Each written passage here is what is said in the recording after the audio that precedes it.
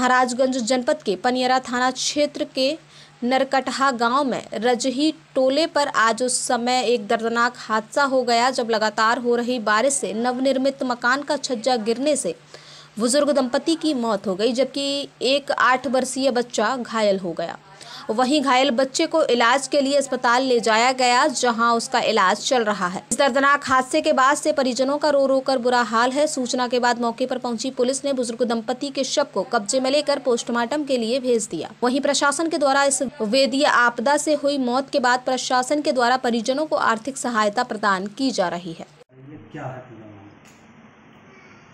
पिछले 24 घंटे में आप लोग देख ही रहे हो काफ़ी तेज बारिश हो रही है। आज लगभग एक बजे करीब जो है पनीरा ब्लॉक में एक गाँव में गड्ढा जो है, वहाँ पर जो है इस तरह की घटना घटित हुई है। छज्जे गिरने से जो है, पति पत्नी दोनों की मौत हो गई है। नेबूलाल पचहत्तर वर्ष और राजमती जो है, ये सेवेंटी टू ईयर्स लगभग इनकी उम्र की जो है, इन दोनों की जो है मौत हो गई है। एक बच्चा है छः साल का जो है, हिमांशु जो है, वो घायल है, उसका उपचार निकटवर्ती स्वास्थ्य केंद्र पर चल रहा है, वो खतरे से बाहर है। चूँकि लगातार बारिश हो रही है और ये निश्चित रूप से जो है दैवीय आपदा की परिधि में आता है और जैसे कि वार्ता हुई, डेड बॉडी को पी के भेजा जा रहा है।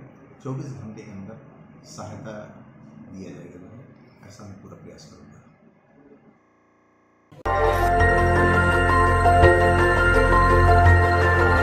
देखते रहिए डीबी भारती समाचार।